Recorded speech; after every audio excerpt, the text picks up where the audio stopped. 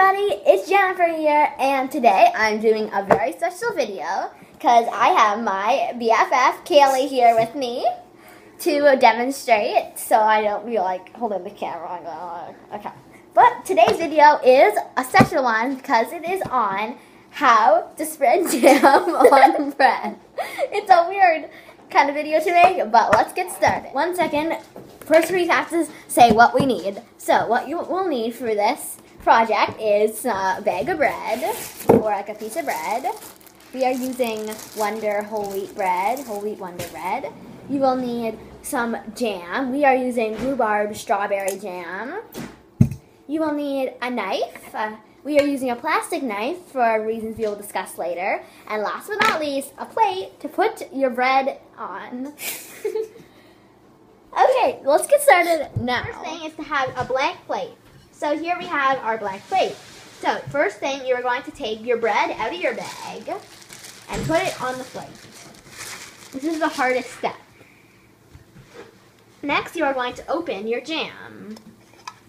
Our jam is already open because it gets, okay. So then now you're going to take your knife and get, and put it in the jam and get globs out and put it onto your bread.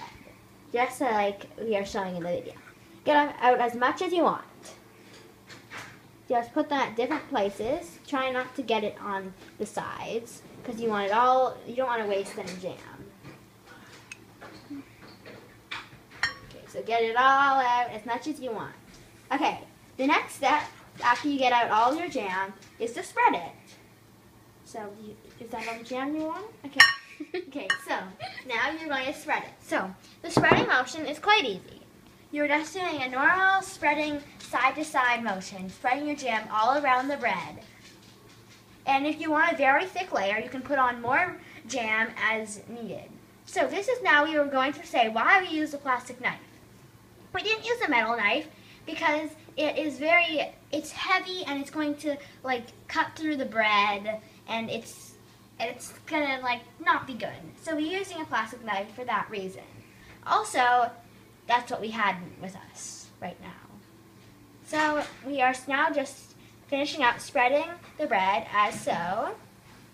Spreading it around, side to side. And make sure to check out Caleigh's YouTube channel called Caleigh Ferguson. So we have, make sure to get all the corners and you can put more jam on it if you need it. Okay.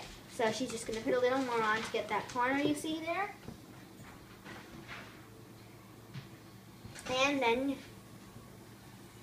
and you're done. Now it's time for the last step, eating it. So this is a very complicated step.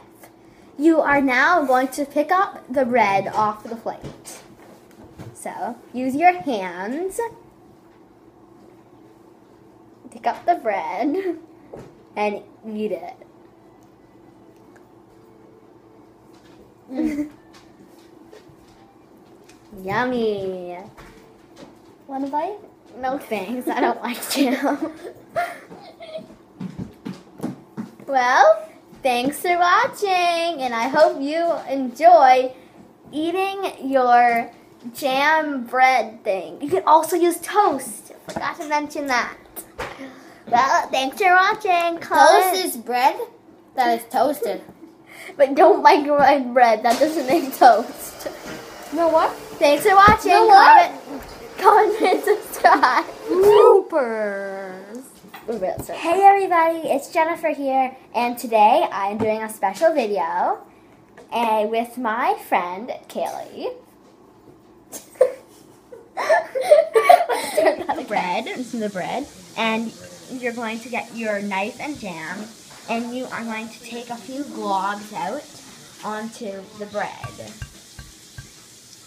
Okay, then you're going to take your knife and you're going to spread it. Just spread all around, like, get nice and floppy, whatever you want to do. Are you recording it? Hey everybody!